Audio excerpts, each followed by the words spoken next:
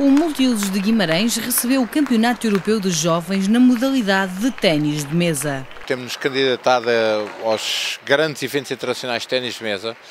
Todos eles têm necessidades e especificidades muito próprias. Os cadernos de encargo são muito específicos, o Campeonato da Europa de Equipas de Séniores, o uh, World Tour Grand Finals e agora, enfim, uh, o nossa grande, a sexta grande organização, o Campeonato Europa de Jovens, tinha algumas questões técnicas muito importantes, como o espaço disponível para as mesas, todas as estruturas de apoio, e portanto foi aqui, nós tínhamos um compromisso de querer fazer no norte do país este Campeonato Europa de, de, de ténis mesa, temos, organizámos o de séniores em Lisboa.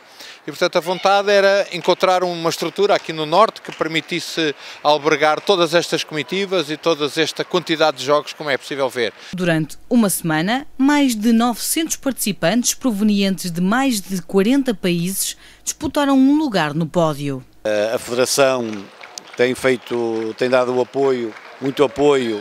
Neste momento nós temos um centro de treino uh, nacional e temos podido fazer em cada, em cada férias de, de, de escolares e agora neste, eh, antes do Campeonato da Europa vários estágios, agora temos concentrados 10 dias, portanto naquilo que é o potencial dos nossos atletas temos conseguido uh, levar o seu potencial ao máximo nestas alturas. Nos dois primeiros Opens deste, deste ano consegui alcançar os quartos de final, uh, no Open de Itália há pouco tempo consegui um segundo lugar, já foi muito bom.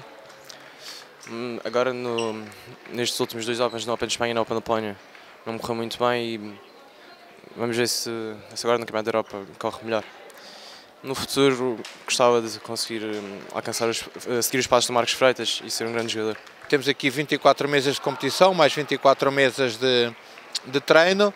Uh, depois de alguma procura, houve aqui duas questões fundamentais. Não é a capacidade do multiuso de Guimarães, que é de facto uh, única, extraordinária e ideal para aquilo que nós necessitávamos, e depois a vontade demonstrada pela Câmara Municipal de Guimarães em, em, nos, em, em nos receber.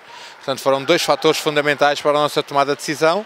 Depois, a partir daí, uh, de uma visita de inspeção da própria União Europeia Ténis de Mesa, que aprovou a estrutura e foi começar a trabalhar. A iniciativa decorreu no Multiusos de Guimarães e contou com mais de 40 países presentes na cidade de berço.